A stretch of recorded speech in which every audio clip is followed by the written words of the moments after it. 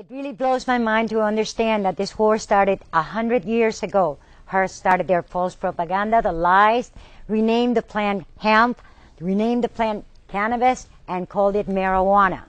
Because he lost a lot of timber to the Mexicans, he wasn't too happy with them. But California started the law in 1913. Several states followed quickly, and before you knew it, the conglomerate of the industrial complex had managed to pass a bill called the, the uh, Marijuana Tax Act of 1937. It was proven unconstitutional by 1969, and, and Nixon knew he didn't, didn't have much time to keep this law going, so he gathered his conservative friends to give him advice and find nasty things to say about this plant, but they found the opposite as usual. They found it is not habit forming. It does not lead to other drugs. It doesn't do any of the things that you said, that they said they do, and so he didn't like that report. He tore it up, threw it that in the garbage. the Shafer Commission the report. Shafer Commission report. And but here's the tragedy. So actually, the only federal law, you law enforcement, listen carefully, because you took an oath to uphold our Constitution too.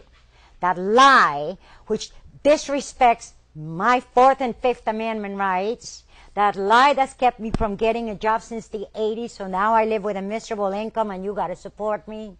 That same lie has put over 20 million of us under arrest at one time or another. Now, how many of us are, are there here? How many people smoke marijuana in this country? What is the percentage of what you arrest? Is it 1%? Is it 10%? Is it 4%? Well, whatever you think it is, multiply that by 25 million and you might get a clue, a hint. Why are we forced to follow? This is the federal law they try to put on the states and everyone else. To follow the legacy of a man who left the presidency in disgrace for lack of honesty.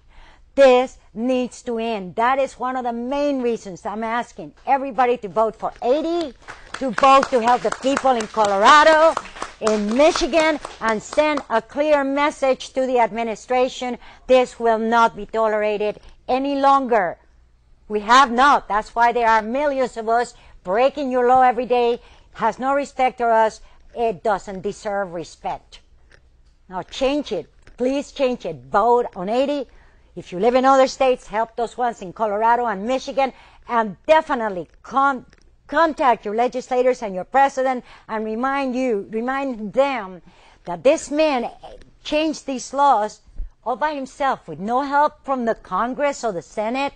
It was just an order that he gave that we're living under this lie and this lie has to end. Five generations of lies and misinformation has rendered us a nation very, very incapable of making rational decisions, mostly because our system is not satisfied. The endocannabinoid system that opens our mind and expands our thinking and allows us to be real human beings.